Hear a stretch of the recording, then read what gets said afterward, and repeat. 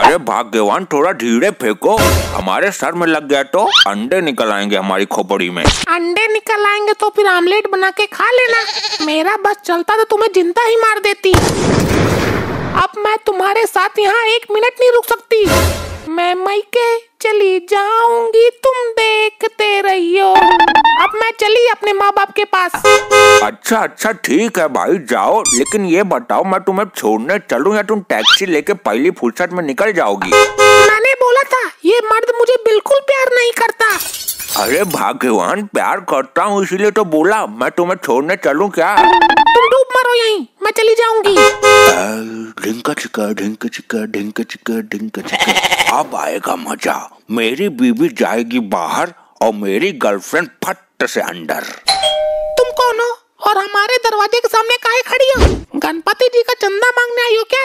नहीं नहीं मैं किसी को ढूंढ रही हूँ। यहाँ कोई नहीं रहता है। जिसे तुम ढूंढ रही होगी वो कहीं और रहता होगा। यहाँ शादीशुदा लोग रहते हैं। ये यहीं क्यों रुक गई। जाएगी भी या यहीं खड़ी रहेगी। या प्लान बदल लिया। जरा देखूँ तो। वो रहे जिसे मैं ढूंढ रही हूँ। किसे ढूंढ रही हो? अरे वो टेबल के नीचे है मैंने देखा अभी अरे कौन छिपा है टेबल के नीचे? बाहर निकलो चोर डाकू है क्या? अरे यही ठीक हूँ मैं भूकंप आने वाला है सभी टेबल के नीचे छुप जाओ और लड़की लोग कमरे से बाहर जाके छुप जाओ। डर क्यों रहे हो? आओ मैंने तुम्हें देख लिया है। तुमने क्या देख लिया है? आज तक मैंने इन्हें पूरी तरह नहीं देखा। बाहर निकलो जल्दी से बाहर निकलो। नहीं तो हम टेबल तोड़ के तुम्हारे पीछे ही मारेंगे। अरे आप चेहरा क्यों नहीं दिखा रहे हो? अरे हाँ जी आप चेहरा क्यों ढक रहे हो? अरे पंडित जी ने मना किया है चेहरा दिखाने को। अगर मैंने रुमाल अपने चेहरे से हटा दिया तो जिसे भी देखूँगा वो भसम हो जाएगा। करो तुम भसम। नहीं नहीं करो भसम। आज तुम्हारी तीसरी आँख भी देख लेती हूँ। मैं इन्हें ही ढूंढ रही थी। इनसे क्या काम आ गया? इनको तो आज तक सिर्फ़ मोहल्ले के आदमी ही ढूंढते हैं। वो भी मारने के लिए ढेर सारा कर्जा जो ले रखा है। आपका भी कर्जा ले लिया है क्या? नहीं नहीं, इन्होंने तो मेरा दिल ले रखा है। तो बहन जी, तुम ज़िंदा कैसे हो? वही सोचू ये इतना अमीर कैसे हो गए? कहाँ बेचा इसका दिल? और आपने बताया नहीं कितने रुपए मिले? अरे, क्या बोल रही हो तुम? क्या बोल रही हैं आप? मैं इनसे प्यार करती हूँ और ये मुझे भी बहुत प्यार करते हैं। क्या जी? ये क्या हो रहा है? तो मैं यहाँ सिर्फ़ बच्चे पैदा करने के लिए बैठी हूँ क्या? क्या?